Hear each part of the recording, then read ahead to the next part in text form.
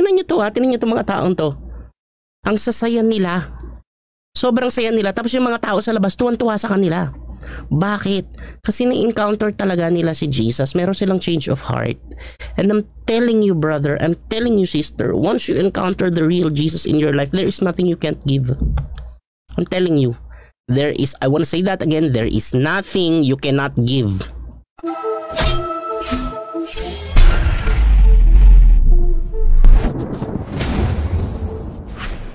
Season 24, Episode 4, The Truly Rich Club, Acts 4, 32 to 37. Okay, magbasa po tayo, gamitin natin ang mabuting balita, Biblia. Nagkaisa ang damdamin at isipan ng lahat ng mananampalataya at di tinuring ni naman ang sarili niya na sarili niya ang kanyang mga ari-arian. Sobrang amazing nito. Okay na to, tapos na. Yan na yung lesson. Okay. So, kanyang mga ari-arian, kundi para sa lahat. Okay. Yung mga ari-arian daw nila, hindi nila tinuring na kanila lang, kundi para sa lahat. Nagkaisa ang damdamin at isipan ng lahat ng mananampalataya at di itinuring ni Numan na sarili niya ang kanyang mga ari-arian, kundi para sa lahat. Taglay ang dakilang kapangyarihan ang mga apostol ay patuloy na nagpapatotoo tungkol sa muling pagkabuhay ng Panginoong Hesus. So ito yung kanilang top priority. Okay? So tapos yung verse 32, verse 32 nakikita ninyo yung kanilang procedure. Okay? So yan yung premise. Hindi itinuring ni naman na kanya yung ari-arian niya. Taglay ang dakilang kapangyarihan, ang mga apostol ay patuloy na nagpapatotoo tungkol sa muling pagkabuhay ng Panginoong Hesus. At ang masaganang pagpapala ay tinaglay nilang lahat. Ang ganda. Okay? Ito ha. Ito matindi oh. Walang kinakapos sa kanila. Ang tindi nito. Walang kinakapos sa kanila.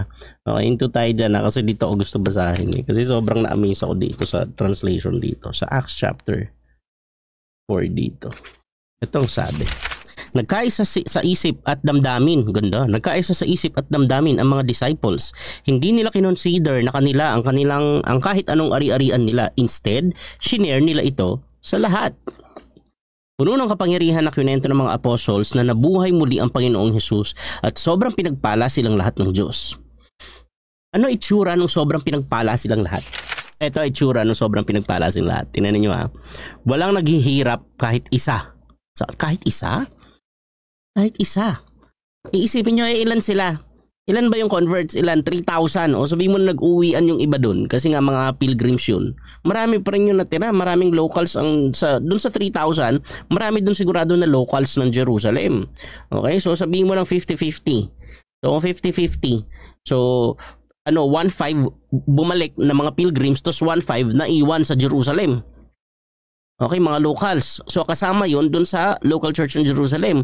Plus the 500 pa na followers talaga ni Lord. Kasama na dun yung 12 at 72. So, sipin nyo. So nasa 2,000. Ang dami. ang laki nitong ang laki nitong community na to, no? Hindi hindi ito ano, hindi ito wala ito sa church building. So, community, no? Isang community sila. Tapos ang sabi, ba ano, pinagpala silang lahat Grabe. Ano itsura kapag pinagpala? Ito po, ito itsura ng pinagpala. Okay? So, itsura ng pinagpala silang lahat. Sobrang pinagpala silang lahat. Hindi lang po yung apostles, hindi lang po yung disciples, silang lahat pinagpala. Ano daw itsura? Walang naghihirap kahit isa. Isipin ninyo, iniisip kasi natin ilan lang to. Eh. Iniisip natin parang community church ngayon, siguro 100. Hindi. Ang daming converts eh. Ang daming nagpabaptize eh. Magkarugtong lang to eh. Sa chapter 2 lang yung nagpabaptize eh. Tapos chapter 4 lang to eh. Okay, so ang dami nila. Tapos walang naghihirap kahit isa sa kanila. Yung mga may bahay at lupa, binibenta nila ang mga yun at ibinibigay ang pinagbentahan. Ha? Ibang klase to. Hardcore to, grabe. Okay, so, ano, uh, binebenta nila ang mga yun at binibigay ang pinagbentahan sa mga apostles. Okay, binibigay nila yung pinagbentahan. Mga properties to. Okay, so, I assume hindi naman nila inuubos. Ina-assume ko na hindi naman nila inuubos yung para sa family nila, di ba? So, basta magbebenta sila ng properties, okay? Tapos binibigay nila sa mga disciples, no? Tapos yung mga disciples, ang ginagawa ng mga disciples ay basahin natin. Uh, binibigay nila pinagbentahan sa mga apostles at dinistribute nila ang pera depende sa kailangan ng bawat isa. So, isipin niyo to ha, isipin niyo to, okay? Tapos si Paul nagte-tent making pa rin. Ganito ang culture sa church pero si Paul nagtatrabaho pa rin. Ba't ganun? Kasi nga kahit maraming nagbibigay, ang ginagawa nila dinidistribute lang nila. Dinidistribute nila. Okay, so ayan o. Oh. Kaya walang naghihirap. Ito tanong. Ito tanong ko ah. Ito tanong. Okay. Kaya na ang title natin, The Truly Rich Club. Okay. Bakit? Kasi po, ganito yan. No? You have to understand. You have to understand. Okay? Pag sinabi ng Bible na mahirap, ibang klase po yun. Halimbawa, yung sumpa po sa ano, I think it's in Deuteronomy, yung mga curses, yung mga curses sa ano, sa pag hindi ka sumunod. Okay, so kasama doon yung poverty. Alam niyo itsura ng poverty pag sinabi ng Bible na poverty? Alam niyo itsura? Ang itsura nung ganito. Ah, uh, nilusob ng kaaway yung bansa ninyo. Sinunog yung mga yung castle ninyo No, your community was raised to the ground. Eh, ito yung sumpa ah. Pag hindi ka sumunod ah. Okay? Tapos yung asawa mo kukunin ng iba, yung mga anak mo kukunin bilang alipin, tapos magtatanim kayo hindi tutubo. Tapos hindi uulan. Yun yung poverty na sinasabi ng Bible. Hindi po yung hindi mo nabibili yung uso. Hindi po yung poverty. Kung hindi mo lang nabibili yung uso tapos ang sama-sama ng loob mo, hindi, wala ka sa poverty. nag nrt ka lang. Maganda pangalan ng milk tea yun ah, nag NRT. Hindi yung poverty, kaartehan yun. Na naintindihan nyo? Wala naghihirap sa kanila. Napaka-amazing nito. Bakit? Kasi sabi ni ano, sabi ni ni Lord kay Moses sa Deuteronomy, sabi niya, there will always be poor people in the land. Ang God the Father po nagsabi noon. So, paano mo i-rule out yun? There will always be poor people in the land. Always. Always. There will always be poor people in the land. Kaya nga pati pag nagta-tithe sila sa Old Testament, merong tithes for the poor. Eh. Alam niyo ba 'yon? May tatlong klase ng tithes po sa Old Testament. So yung mga ano po, yung mga Hudyo po, hindi lang sila 10%, nasa 30 sila. Kasi meron silang tithes for the temple, for the Levites, meron silang tithes for the celebration na iniipon for one whole year. Tapos for the festivity, tapos meron silang tithes for the poor and the foreigner. Yung foreigner, yan yung mga kasi sa atin pag sinabi foreigner big time eh no. Sa kanila hindi. Pag foreigner dayo ano walang ano walang property, ma- mahirap, so kailangan tulungan, so ganun sa kanila no. Na-amaze ako eh. Walang naghihirap eh. Isipin niyo to, walang naghihirap. Ulit ha, ulit. Walang naghihirap kahit isa sa kanila. Sobrang amazing nitong part na to. Ulitin ko ha. Walang naghihirap kahit isa sa kanila. Bakit? Kasi lahat sila blines kanya-kanya? Hindi. Kasi lahat sila ano, malalakas na magbigay? Hindi. Ano, ang sabi? Wala naghihirap kahit isa sa kanila. Bakit? Kasi wala talaga mahirap, hindi welcome yung mahirap sa kanila o walang mahirap na believers, ganun, basta believer. So meron ako nabasa, ang ganda eh. Kasi nung scholar ba to? Sabi niya, possible na merong mahirap na Christian. Okay? possible na merong Christian na mahirap. Pero imposible na merong Christian na hindi mayaman. Posible sa isang Christian na mahirap. Pero imposible sa isang Christian na hindi mayaman. Ano, ang gulo nyo. eh kasi nga, eh kasi nga, iba yung context ng mayaman sa Christian. Okay, pag Christian ka, iba yung context ng mayaman. Tinan nyo to, maya, wala daw naghihirap sa kanilang lahat. So, ibig sabihin, zero. Pag nag-survey ka, sino po dito yung nasa poverty line, sasabihin nila zero. Pero sa totoo, meron yung mga recipient ng tulong pero hindi sila nahihirapan kasi yung mga maluluwag pinagaan yung buhay nila. Ang galing nito. Oh, sabi, walang naghihirap kahit isa sa kanila. Yung mga may bahay at lupa, binibenta nila ang mga yun at binibigay ang pinagbentahan. Kanino? Sa mga apostles. Bakit? Anong ginagawa ng mga apostles? At dinistribute nila ang pera depende sa kailangan ng bawat isa. Okay, sa mga leaders ng agaya ko, ganun po yun. Dinidistribute. Okay, so mag-ingi tayo ng leading kay Lord kung kanino i-distribute para saan. Kaya maganda, may, meron ka talagang, ano eh, yung presidente nga may cabinet member eh. So, may cabinet member yung president eh. So dapat sa church may ganun din eh. Merong merong mga pastoral staff na merong mga kanya-kanyang expertise para ma-distribute to ng maayos kasi mahirap to gawin na mag-isang tao na mag-isang tao lang ang magdedesisyon. Ang galing oh. Na-roll out nila yung sinabi ni Jesus. Ano sabi ni Jesus? Sabi ni Jesus, the poor you shall always have with you. Tama yung sinabi ni Jesus. The poor you shall always have with you. Ito mga poor na to, inabsorb nila, ginawa nilang hindi na poor no? So sa kanilang sarili, poor sila. Pero pagpasok nila sa church, hindi sila poor. Ibig sabihin ng poor mahirap. So hindi sila na, may, nahihirapan. So pag hindi ka nahihirapan, edi hindi ka mahirap. Hindi sila nahihirapan. Bakit? Kasi yung church. Naintindihan nyo po? Okay, so ang ganda nito eh, oh. Alala ko si Tatay Jun eh. Kwento ko sa inyo si Tatay Jun. Tatay Jun ng ano, yung kaya ako nakilala yung wife ko dahil kay Tatay Jun. Okay? Kasi sinama niya ako sa missions. Si Tatay Jun po ay aming missionary pastor. At ang trabaho niya, nagtatrabaho siya sa ate niya sa US. Yung ate niya, sobrang yaman. Merong bus liner sa US. Isipin mo, Pinoy may bus liner sa US. Okay? Yung family nila, mayaman na family to. Apelido nila Daes. So, ang ginagawa ni tatay, ginagawa ni tatay June, dati meron siyang ano, meron siya, nung mga bata pa kami, nung high school kami, meron siyang tindahan ng native products. Doon sa taas sa highway, sa labas ng church. Okay? Meron siyang tindahan ng native products. So, Novaliches yun. Tapos, ang sabi niya sa mama ko, sabi niya, Kumusta yung pag-aaral ng mga bata? Uh, Mami Terry, Mami, Mami patawag eh. May, there was a time na well off kami talaga doon. Sabi niya ano, uh, sabi ni mama, minsan hindi nakakapasok po kasi delayed yung padala ni Rudy minsan nung tatay ko. So minsan hindi sila makapasok. Sabi niya, naku, naku, wag na wag niyo pong pa-absenin yung mga bata sa school kung baon lang. Kung baon ang dahilan, wag niyong pa-absenin. Padaanin niyo sa tindahan ko. Hindi ko mabilang na ako ilang beses akong dumaan sa tindahan nila. No, so, pag wala naman akong bibilhin, sasabihin ko lang, Tay, ano po, good morning po. Tapos naka-uniform ako pang school. Hindi na ako manghihingi.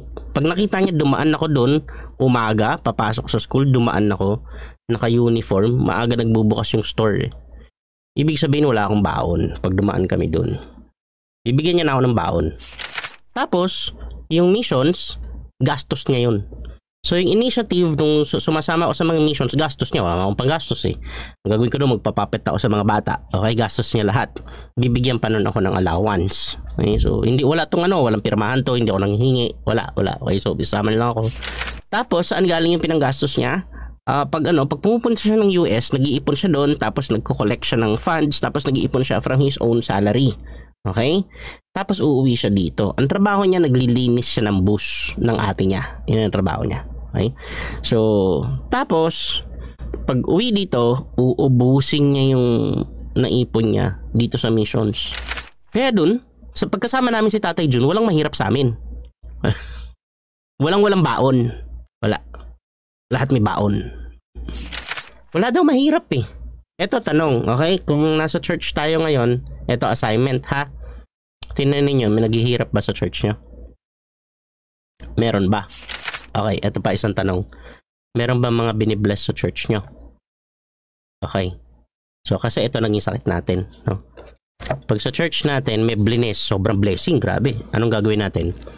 Mag magte-testimony tayo, di ba? Maganda naman 'yun para ma-encourage yung mga dumadaan sa pagsubok. Testimony tayo. Ganda naman 'yun. Tapos pagkatapos natin mag-testimony, ang sasabihin lang natin sa kanila, gayahin nila yung commitment natin. Commitment natin sa giving, commitment natin sa prayer, commitment natin sa ministry, commitment natin sa pastor, commitment natin sa church, kung ano man yung ano, sa tingin natin, yun ang naging key para dun sa ating ano, sa ating breakthrough.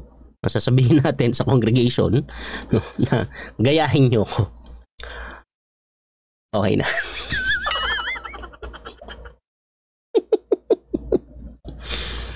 So ngayon, merong binuhusan si Lord ng pagkaramaraming buhos na blessing, okay? Pero may naghihirap pa rin. Meron pa rin naghihirap. Bakit? Hindi kasi natin sinundan tong model na to eh. Tong model na to. Dito wala naghihirap eh. Okay, ang kausap ko po dito, yung mga binibless, ho. Hindi yung mga recipients. Ulitin ko ha, yung mga may capacity magbigay, kayo po yung kinakausap ko ngayon, ngayong part na to. Okay? Kaya may reason kung bakit sobra-sobra yung binigay sa atin ni Lord, kung merong sobra sa atin binigay, kasi one look around, isang ikot lang ng tingin mo eh. Lalo kung nasa community church ka, maliit lang yan eh. Kung nasa community church ka, isang ikot lang ng tingin mo, alam mo meron kang pwedeng suportahan dyan. Alam mo meron kang pwedeng pag-aralin. Alam mo meron kang pwedeng suportahan. Okay? Lalo ngayon, pandemic. Okay? So, alam natin meron tayong kay, pwede, pwede at kailangan nating suportahan. Okay? So, et eto ang challenge sa atin bilang body of Christ. May naghihirap ba? Doon sa circle natin. So, magka, meron at merong mahirap meron at meron hong mahirap. Pero posible, posible na walang naghihirap. Straight from the coin ni Greek, walang naghihirap. Hindi walang mahirap, walang naghihirap. Merong mahirap, pero hindi naghihirap. Kami, mahirap kami noon, pero hindi kami naghihirap. Bakit? May tatay June kami. Meron kaming church. Meron kaming ano eh, family yun eh, family. So, uh, Ito ang challenge. Ito. Ito po ang church. Wala naghihirap. So, pag binigay po sa atin ni Lord, ang itanong mo agad sa sarili mo, kanino ko to pwede i-distribute? Bakit to binigay sa akin? Okay. Therefore, as we have opportunity, let us do good to all people especially to those who belong to the family of believers. To all people.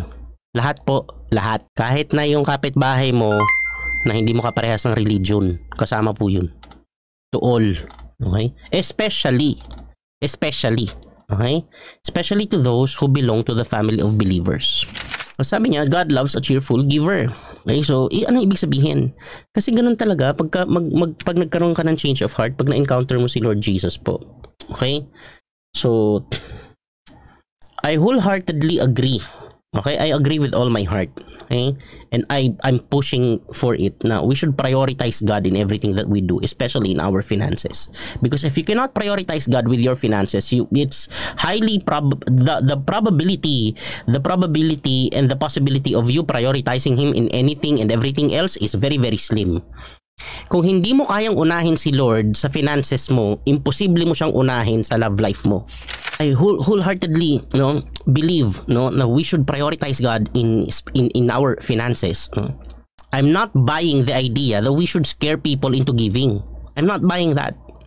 No, hindi natin kailangan takutin yung mga tao para magbigay. Kasi pagdating dito, how can how can someone be afraid no? Bi- ang motivation niya para hindi ako masumpa, para hindi ako salutin, magbibigay ako. How can that be cheerful giving?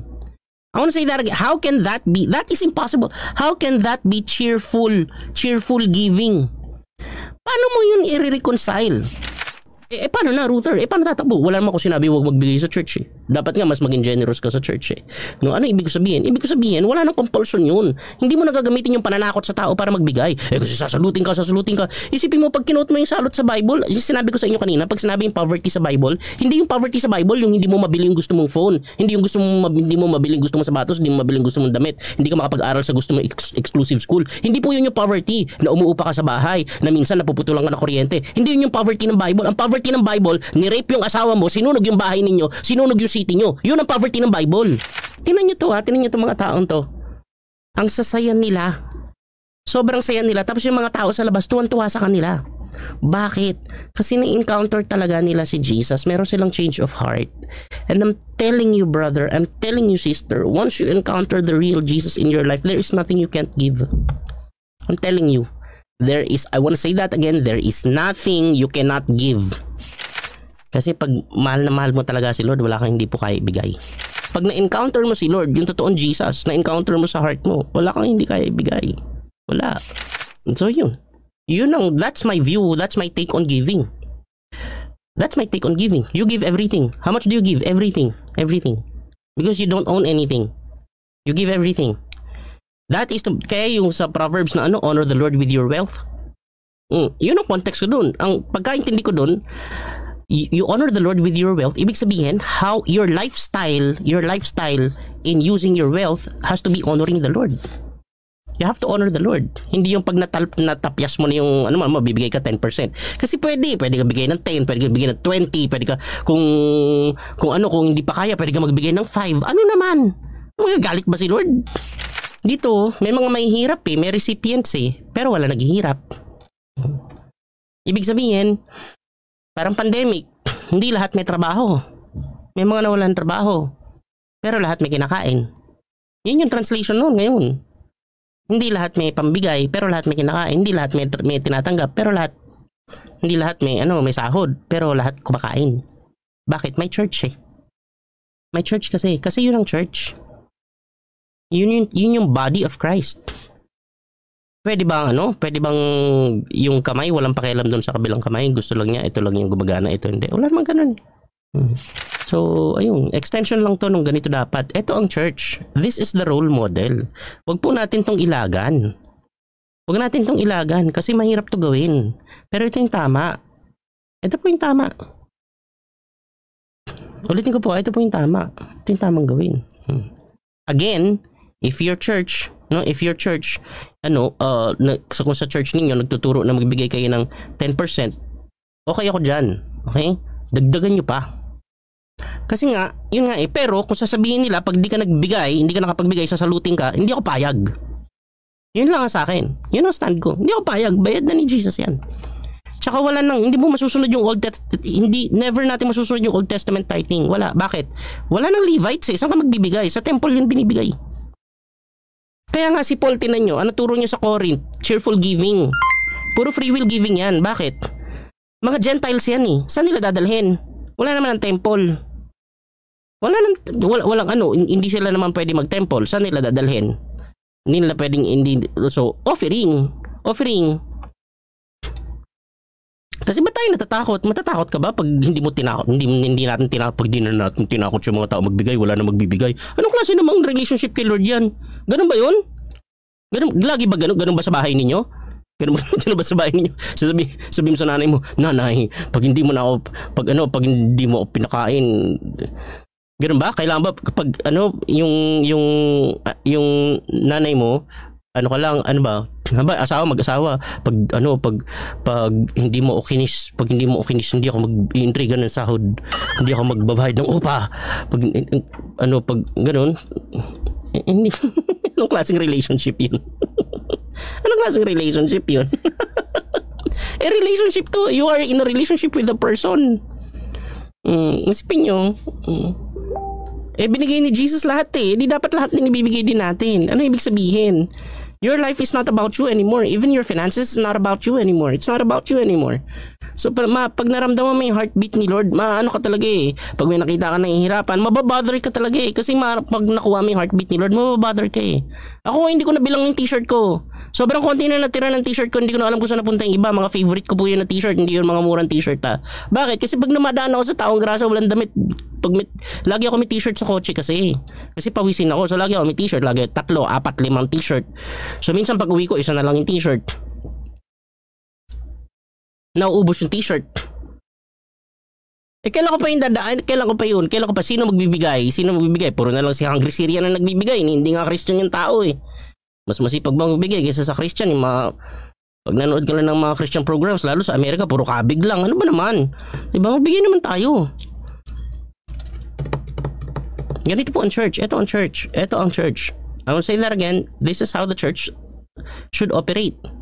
No? Ito yung totoong generosity.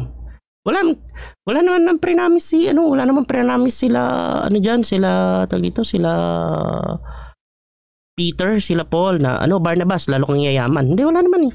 Wala naman eh ano lang ang promise nila pag pinuntahan mo yung sinabi ni Paul sa ano sa Corinthian sabi ni sabi ni Paul ano para dahil sa ginawa ninyo mas lalo sila ma-encourage purihin nila ang Panginoon dahil sa ginawa ninyo marami sa inyong binibless. Amen. Amen. Ngayon may mga naghihirap ba diyan may mga naghihirap. O ano gagawin niyo gagawin niyo sasabihin niyo sa kanila hintayin kay Lord direkta. Hmm. yan ang i-goal natin. Wala naghihirap kahit isa. Hmm.